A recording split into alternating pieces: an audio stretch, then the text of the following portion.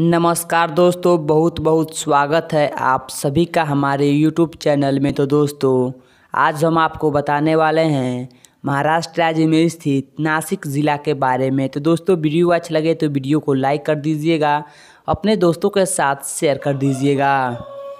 और दोस्तों, अगर आपने अभी तक हमारे यूट्यूब चैनल को सब्सक्राइब नहीं किया है तो हमारे यूट्यूब चैनल को सब्सक्राइब करके बेल आइकन को प्रेस ज़रूर कर दीजिएगा।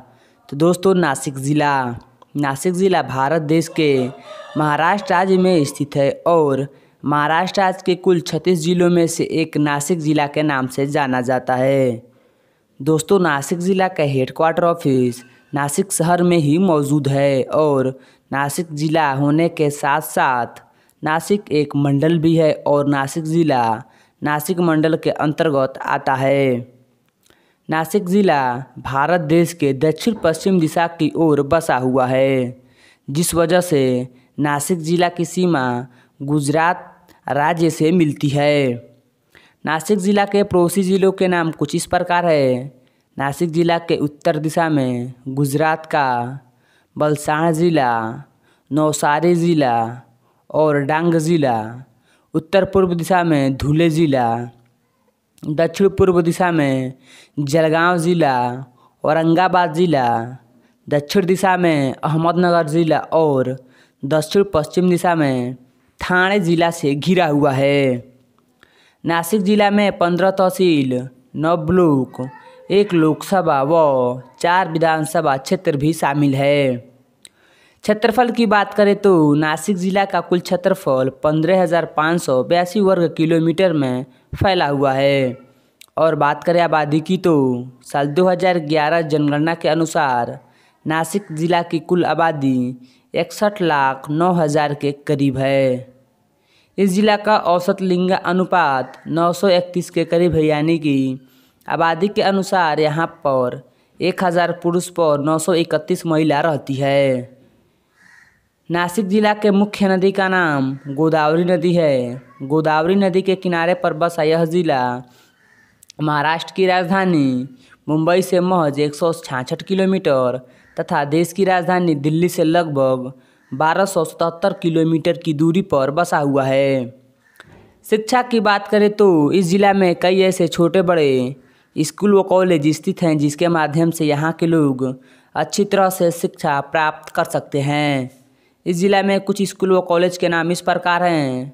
नासिक कैंक ब्रिज विद्यालय, गवर्नमेंट गर्ल्स हाई विद्यालय के के बाद इंग्लिश स्कूल, सरस्वती नगर इत्यादि। यह सभी स्कूल व कॉलेज इस ज़िला में स्थित है और इन ज़िला वासियों को शिक्षा मुहैया प्रदान कराते हैं।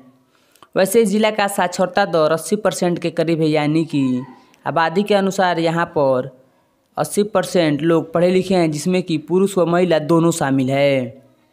टूरिस्ट स्थल की बात करें तो इस ज़िला में बेशुमार कुछ टूरिस्ट स्थलों के नाम इस प्रकार हैं। सोमेश्वर वाटरफॉल, श्री कालाराम मंदिर, रामकुंड पंचवटी, नारोस्व, नारोशंकर मंदिर सुंदर नारायण मंदिर, मुक्तिधाम मंदिर, श्री कपिलेश्वर महादेव मंदिर रामजेश किला शहीद स्मारक, श्री वेंकटेश बालाजी मंदिर इत्यादि। यह सभी टूरिस्ट स्थल इस ज़िला में स्थित है और इन ज़िला वासियों को टूरिस्ट मुहैया प्रदान कराते हैं। सड़क मार्ग की बात करें तो यह ज़िला सड़क मार्ग से महाराष्ट्र और देश के प्रमुख शहरों से अच्छी तरह से जुड़ा हुआ है।